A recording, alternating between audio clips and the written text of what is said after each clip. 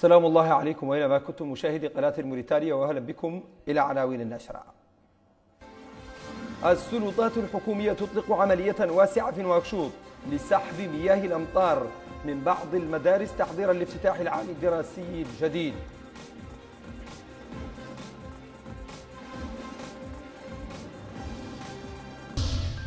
مصادر إعلامية في سوريا تتحدث عن مقتل 61 مدنيا سوريا.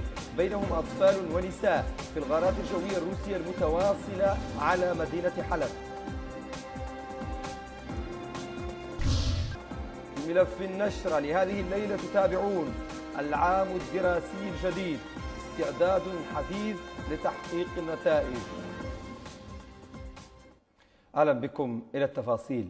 أكد الوزير الأول السيد يحيى الحدمين أنه لا مساومة في تجسيد خيار فخامة رئيس الجمهورية السيد محمد عبد العزيز بمحاربة الفساد. جاء ذلك خلال لقائه صباح أمس بقصر المؤتمرات في نواكشوط بالآمرين بالصرف في مختلف القطاعات الحكومية. نتابع ملخصا لأهم محاور كلمة الوزير الأول خلال هذا اللقاء. خلال اجتماعه بالآمرين بالصرف في مختلف القطاعات الحكومية حرص الوزير الأول السيد يحيى الحدمين على تأكيد أن محاربة الفساد خيار استراتيجي لرئيس الجمهورية انطلاقا من قناعة سيادته الراسخة بكون الفساد هو أبرز معيقات مسار التنمية وبأن وسائل ضخمة أهدرت في الماضي وأثقلت كاهل الشعب الموريتاني بديون باهظة لم تعطي أي نتيجة بسبب الفساد.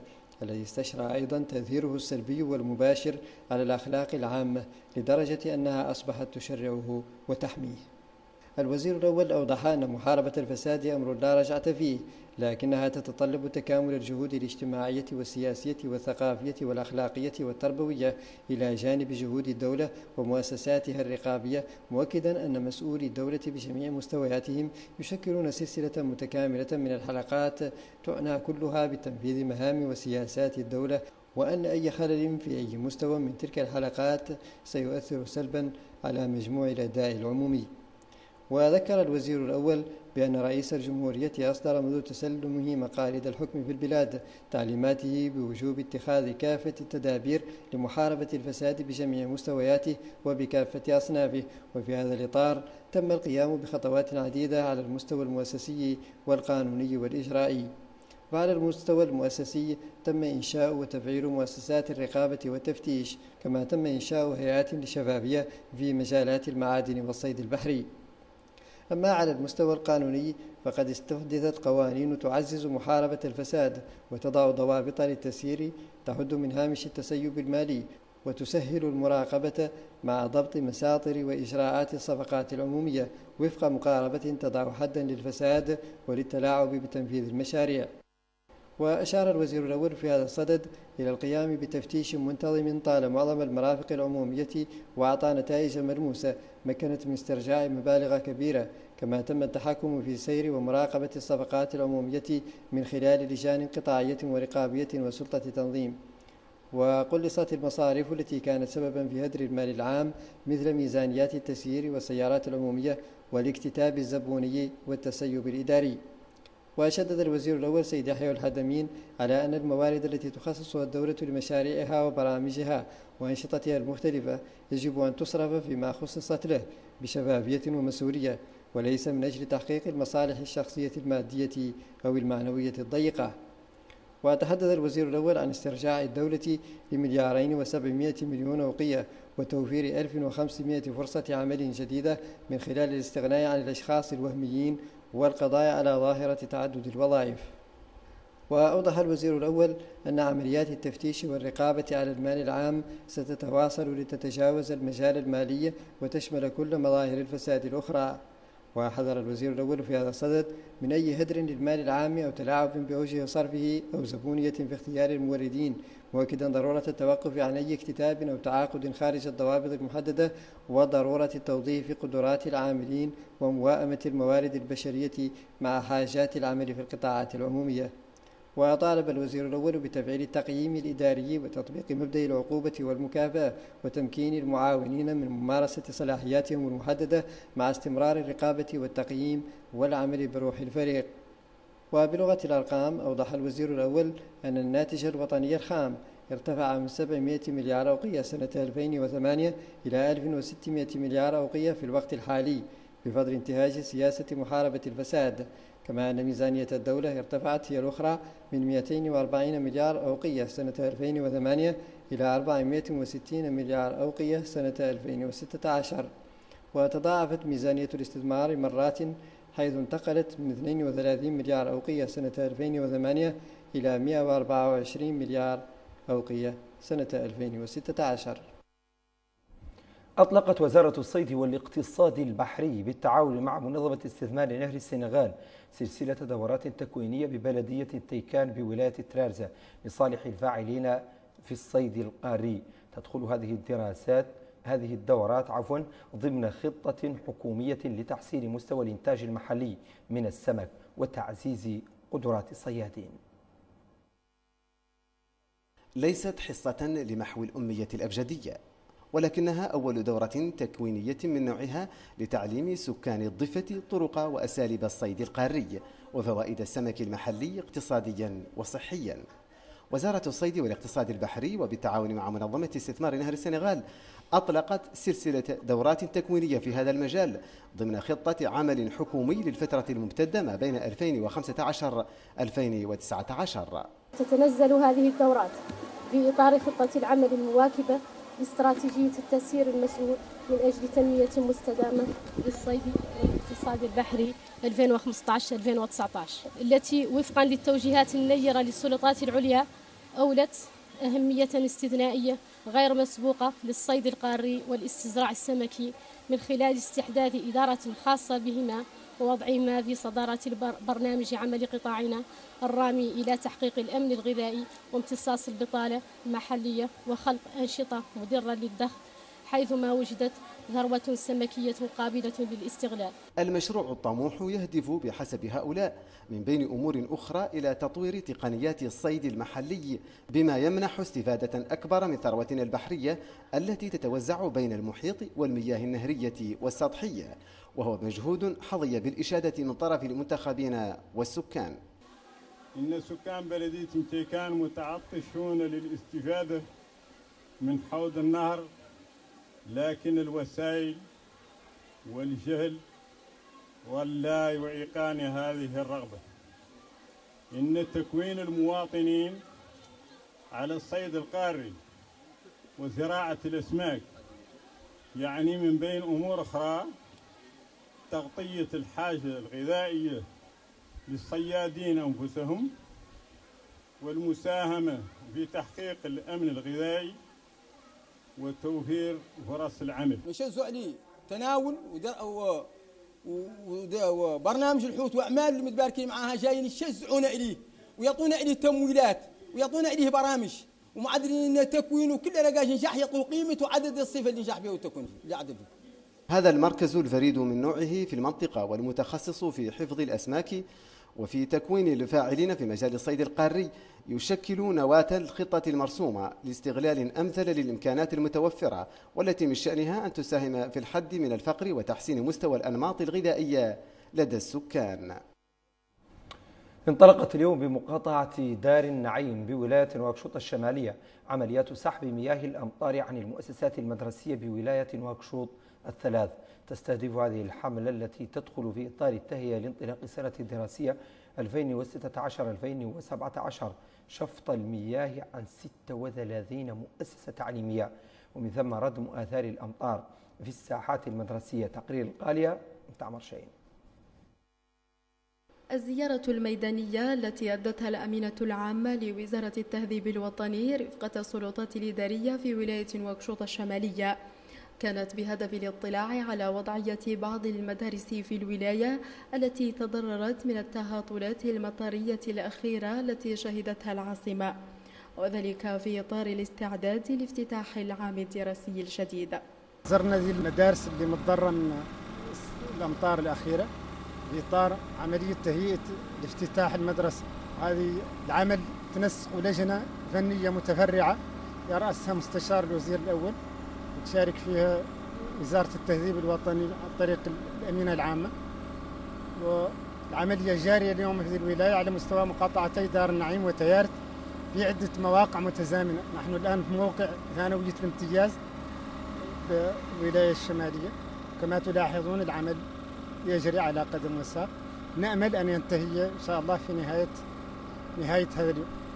يذكر أن لجنة وزارية برئاسة الوزير الأول تم تكليفها بشفط المياه عن مدينة واكشوط وتتكون من عدة قطاعات وزارية منها قطاع التهذيب الوطني الذي يسعى لتهيئة مختلف المؤسسات التربوية التابعة له قبل موعد الافتتاح المدرسي الذي حدد في الثالث من أكتوبر المقبل. نشرتنا لا تزال متواصلة وتتابعون في ملفها لهذه الليلة. العام الدراسي الجديد استعداد حديث لتحقيق النتائج. أهلا بكم مجددا. في نفس السياق تساهم فرق الحماية المدنية بشكل كبير في تخليص مقاطعات واكشوط من المستنقعات والبرك التي سببتها الأمطار الأخيرة. التقرير التالي يرصد جهود فرق الحماية المدنية لسحب مياه الأمطار من الشوارع والساحات. تقرير منته من تيوبا. عمليات سحب المياه الناجمة عن التساقطات المطرية التي شهدتها العاصمة في الآونة الأخيرة ما زالت متواصلة. فهنا على مستوى نواكشوط الشمالية تباشر الحماية المدنية شفط المياه من الأحياء المتضررة في هذه الولاية. وبومبيا هي الحمد لله تنطر المبارك جزاها الله خيرا. وتنطر عن هذا المكان لا يعود إنه هنا كارثه كارثة من قد ولا يعود الامراض ولا يعود تركيا يقطعون مساكين ماشيين واعدين بواتيك وجايين. الآن بوش علينا السحاب وجانا الماء من قدره إحنا فاتحين على بارك ومثل وجاتنا بومبي راعيهم ما شاء الله يشتغلوا. جاتنا جاونا أربعة وثلاثة راعيهم ويعيشوا الماء رجال رمى بهم حب الوطن وخدمة المواطن في حضن المخاطر يصارعونها أينما حلت لا يبالون. هدفهم التخفيف من المعاناة وتلبية النداء والتدخل عند الاقتضاء. هذه السنة قائمين آه، بحملة في نطاق خطة مبرمجة عند لجنة وزارية ترأسها معالي الوزير الأول. السلطات الإدارية هي اللي تحدد الأولويات بلد العمل. تنسيق مع هذه السلطات الإدارية بإشراف مستشار الوزير الأول المكلف بهذه العملية. إذا هاي الخطة اللي عدلت وزعت نواكشوط وعات الحماية المدنية متوالية منها آه، الولاية الشمالية. الولاية الشمالية الحمد لله فانهارت الأولين آه، الطرق حركة السير آه، وقلب على ذاك الماء وأنزلنا للميدان به اللي كيف تعرفوا؟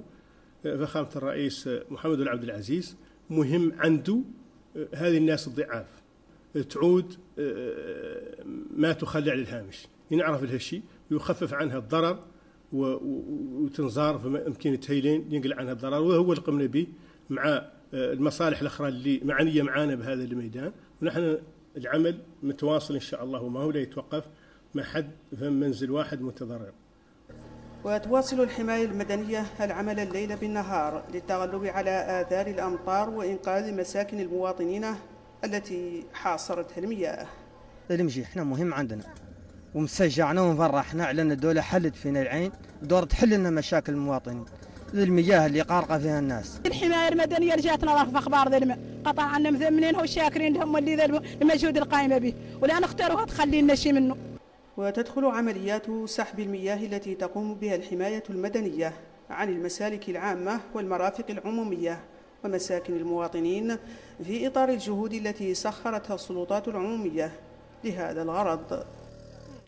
بدأت العاصمة تستعد شيئا فشيئا حيويتها وعاد المواطنون نسبيا إلى أماكن العمل وذلك بعد حوالي شهر من العطلة.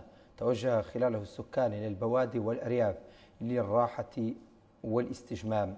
والاستمتاع بمناظر الخريف الخلاب.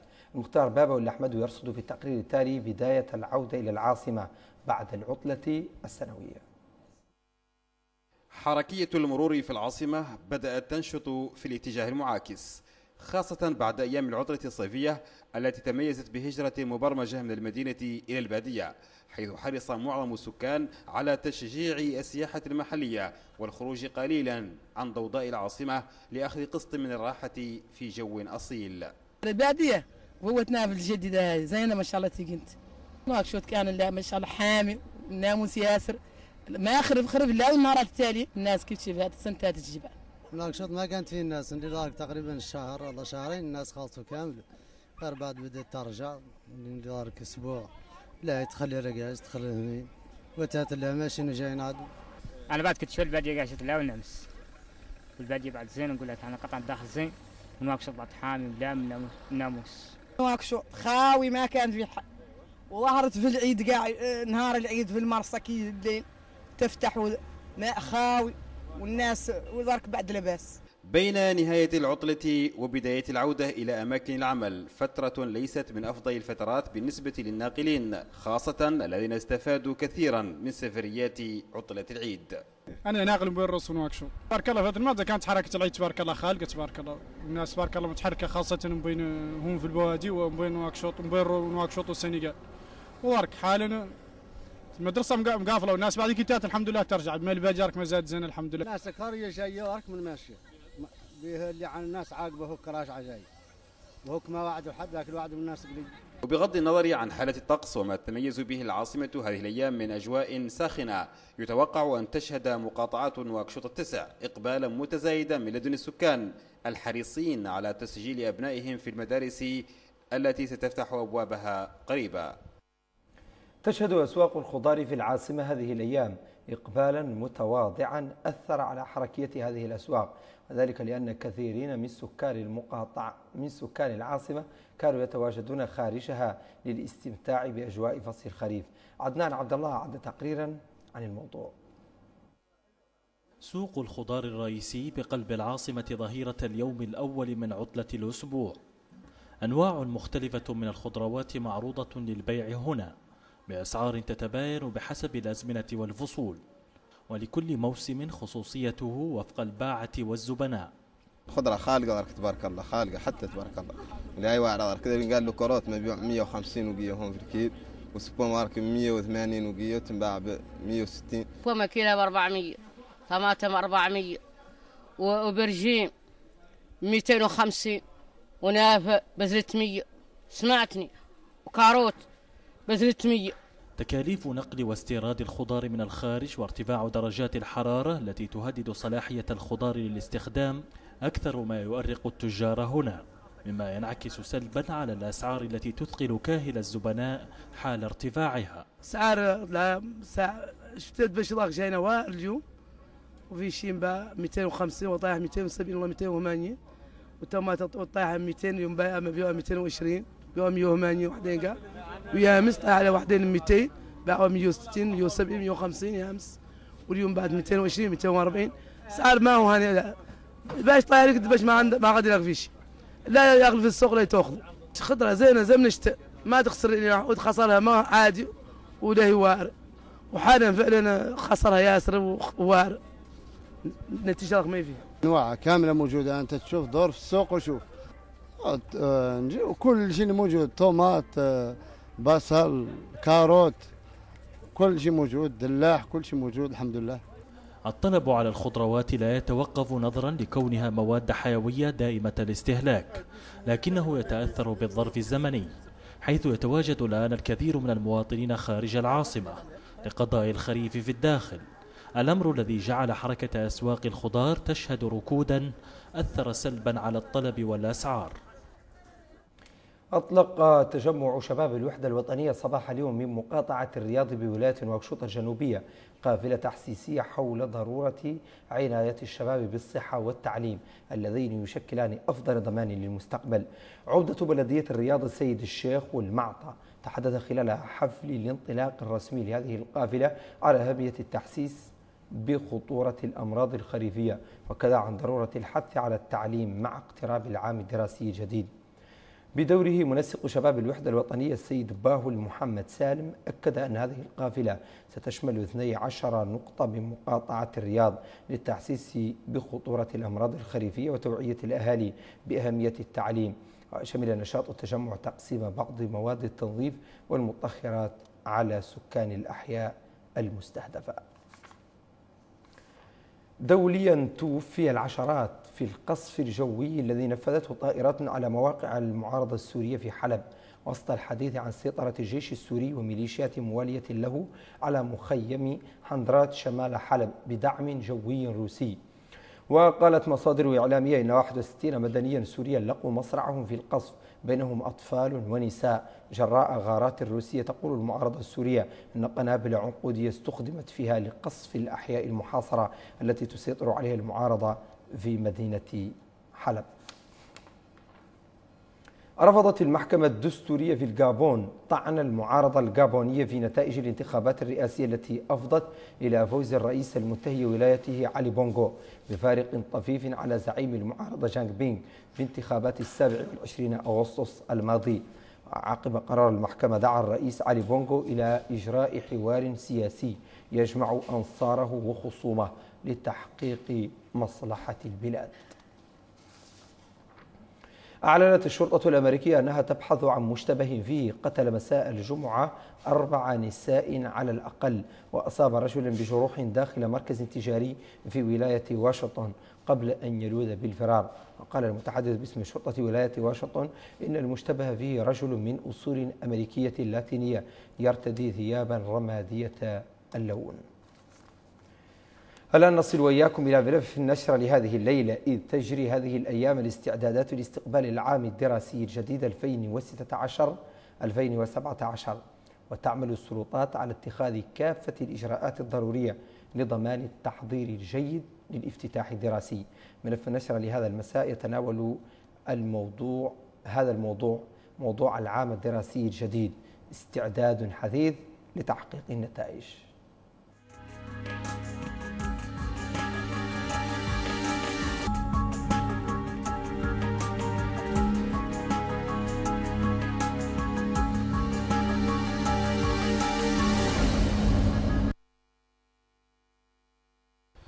نهاية العطلة الصيفية تعني في حسابات الأسرة التربوية بداية عام دراسي جديد. وبداية عام دراسي جديد تحتاج في نظر الأسرة التربوية إلى تحضير محكم لاستقبال الضيف الجديد بما يمكنه من قضاء إقامته تسعة أشهر في ظروف تعكس مدى استجابة مخرجات الرسالة العلمية التربوية لتقديم الفائدة في المادة العلمية موضوع التدريس في مختلف محطات البرنامج ومحتويات المقرر الدراسي السنوي.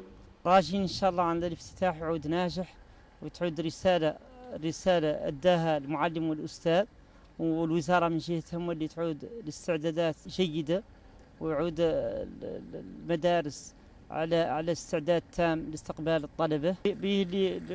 لنعود العام الدراسي ناجح يعود فم نسبة نجاح مرتفعة وتعود فم معنويات مرتفعة لدى الأستاذ والمعلم وراجين عن العام الدراسي عنه ينجح.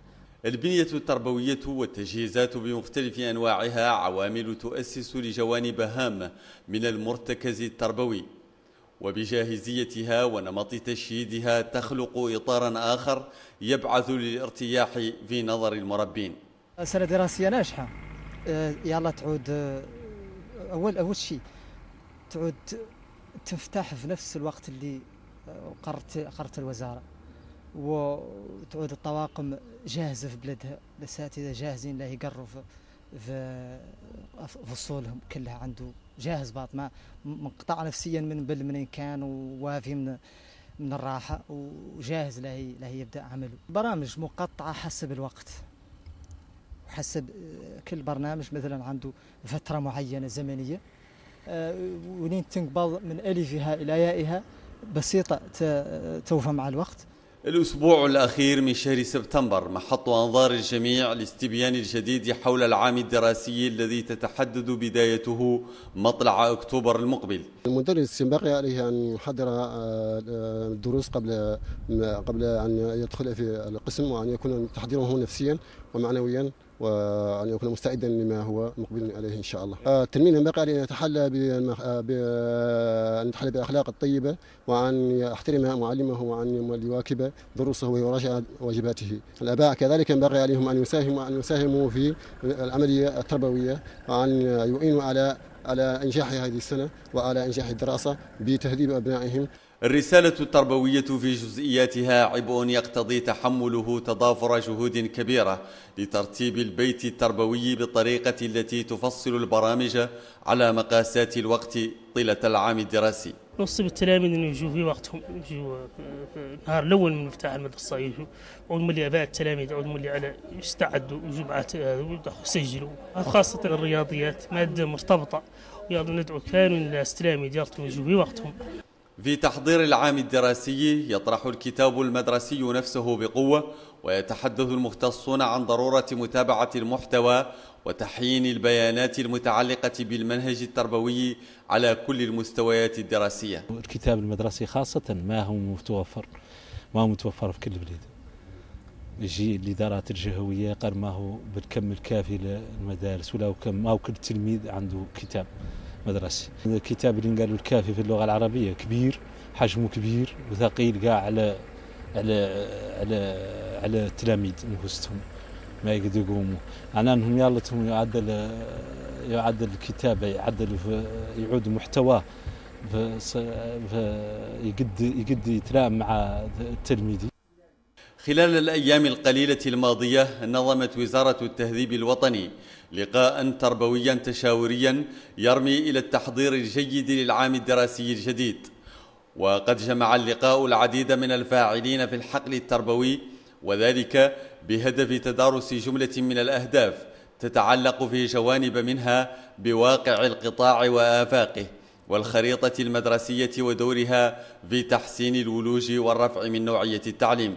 بالنسبة للمشاركين هم المدراء الجهويين والمدراء المركزيين والعمل يتمحور أساسا حول النقاط الآتية تدقيق والتمحيص في العمق المشاكل المطروحة على المستوى الجهوي وكذا المستوى المركزي سبيلا لإيجاد حلحلة لهذه المشاكل.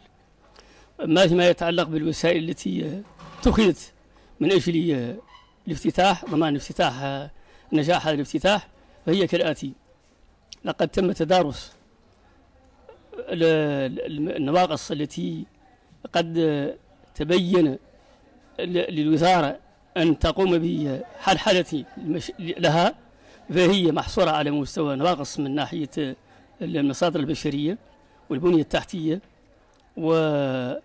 وهكذا كان لنا أن نقوم بتشاور ما بين الإدارة المركزية والإدارات الجهوية سبيلا لتطويق واحتواء هذه آه، المشاكل. في سياق اعتماد السنوات الأخيرة سنوات للتعليم يبرز اهتمام متزايد من قبل المنظومة التربوية الوطنية بمواكبة القرارات الهادفة إلى دفع العملية التعليمية وذلك عبر العمل على عدة مستويات من التشاور الفني وتفعيل الشراكة التربوية.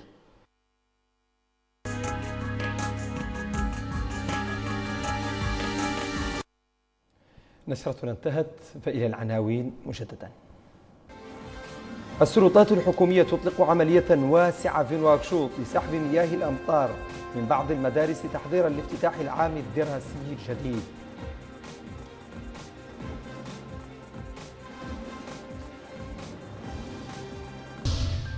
مصادر إعلامية في سوريا تتحدث عن مقتل 61 مدنيا سوريا بينهم أطفال ونساء في الغارات الجوية الروسية المتواصلة. على مدينة حلب. في ملف النشرة لهذه الليلة تابعتم العام الدراسي الجديد استعداد حديث لتحقيق النتائج. نشكركم مجددا على حسن الإصغاء والمتابعة. لقاؤنا يتجدد بحول الله في العرض الإخباري الأخير عند منتصف الليل. في أمان الله.